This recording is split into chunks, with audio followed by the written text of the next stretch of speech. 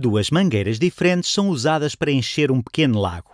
Usadas em conjunto, as duas mangueiras demoram 12 minutos a encher o lago. Mas quando usadas separadamente, uma das mangueiras enche o lago em menos 10 minutos, em menos 10 minutos do que a outra. Quanto tempo demora cada mangueira a encher o lago? Vamos pensar nas duas mangueiras. Uma das mangueiras é mais rápida, é mais rápida, e a outra é mais lenta. Vamos supor que a mangueira mais rápida leva F minutos a encher o lago. F minutos por lago. Quanto tempo levará a mangueira mais lenta? A mangueira mais rápida leva menos 10 minutos do que a outra. É 10 minutos mais rápida, o que quer dizer que a mangueira mais lenta vai levar mais 10 minutos. Então, a mangueira mais lenta vai levar F mais 10 minutos por lago. Temos isto em termos de minutos por lago, mas se quisermos depois somar velocidades, deveríamos ter isto em termos de lagos por minuto. E por isso vamos reescrever cada um destes dados em termos de lagos por minuto. Podemos ver isto como f minutos por um lago ou f mais 10 minutos por um lago. E se pensarmos no inverso de cada um, estes rácios passam a velocidades, isto é equivalente a um lago por f minutos. E não estou a acrescentar nada, estou só a inverter a fração. Também podem olhar para isto como 1 sobre f lagos por minuto. Aplicamos a mesma lógica aqui e podemos escrever o inverso desta função como 1 sobre f mais 10 lagos por minuto. Agora temos a velocidade de enchimento da mangueira mais rápida e a velocidade de enchimento da mangueira mais lenta. Quanto do lago por minuto encherá a mangueira mais rápida? Quanto do lago por minuto encherá a mangueira mais lenta? Se somarmos estas duas velocidades, vamos saber a velocidade em lagos por minuto a que as duas mangueiras conseguem encher quando trabalharem em conjunto. Se tivermos 1 sobre F lagos por minuto, mais 1 sobre F mais 10 lagos por minuto. Esta é a mangueira mais rápida e esta é a mais lenta. Isto vai dizer-nos quanto, em lagos por minuto, é que elas conseguem encher juntas. Bem, na verdade, nós sabemos toda essa informação porque no enunciado nos é dito que as duas mangueiras levam 12 minutos a encher o lago. Vou escrever isso aqui. Em conjunto, em conjunto, elas demoram 12 minutos por lago qual será o valor em termos de lagos por minuto? Podemos olhar para isto como 12 minutos por lago, ou podemos agarrar no inverso disto e vê-lo em termos de velocidade de enchimento em lagos por minuto. E nesse caso, ficamos com 1 sobre 12 lagos por minuto. No minuto, as duas mangueiras em conjunto enchem 1 dozeavos de lago, o que faz todo o sentido, já que são precisos 12 minutos para encher o lago. No minuto, só encherão 1 dozeavos do lago. Esta é a velocidade de enchimento das duas em conjunto, em lagos por minuto. Isto aqui também é a velocidade de enchimento das duas em conjunto, o que quer dizer que isto vai ser igual a 1 sobre 12. Agora podemos resolver em ordem F e depois F mais 10 vai representar o tempo que demora a mangueira mais lenta. Vamos ver o que podemos fazer. Podemos multiplicar ambos os lados desta equação por F e por F mais 10. Vamos fazer isso.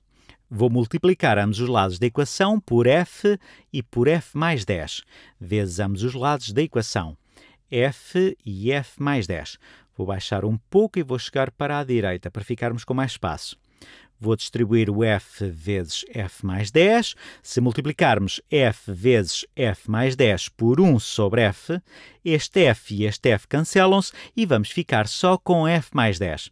É o que obtemos quando multiplicamos este termo por f vezes f mais 10.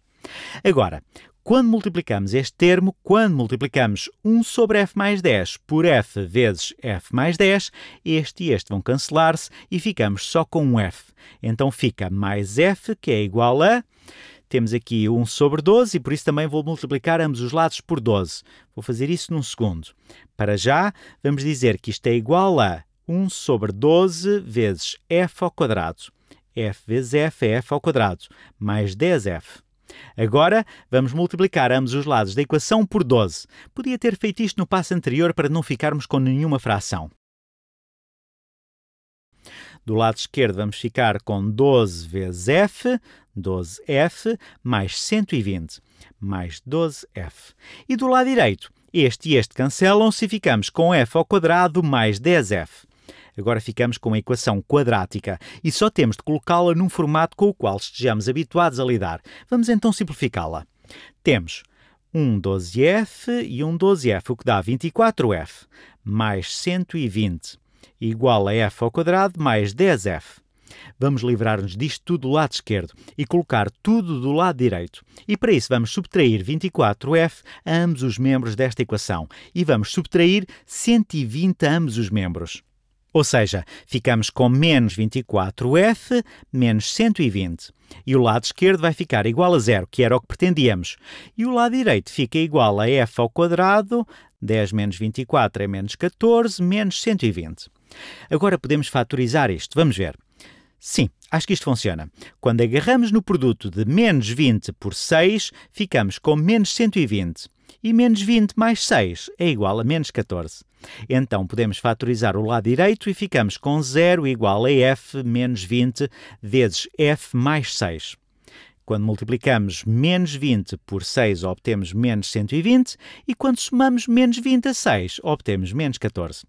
E a única forma disto ser igual a zero é ser f menos 20 igual a zero ou ser f mais 6 igual a zero.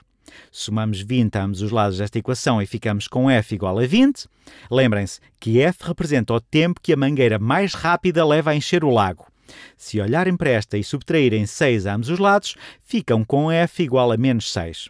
Agora, se estamos a falar do tempo que leva a mangueira mais rápida a encher o lago, bem, não faz sentido dizermos que leva menos 6 minutos a encher o lago. E por isso não vamos usar esta solução. Precisamos de respostas positivas. Isto é o tempo que a mangueira mais rápida leva a encher o lago.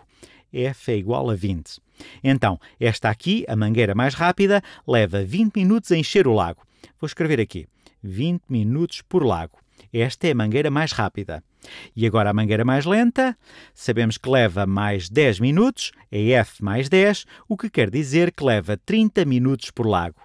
Espero não ter deixado isto demasiado confuso. A mangueira mais rápida leva 20 minutos a encher o lago e a mangueira mais lenta leva 30 minutos. E quando enchem o lago em conjunto, demoram 12 minutos.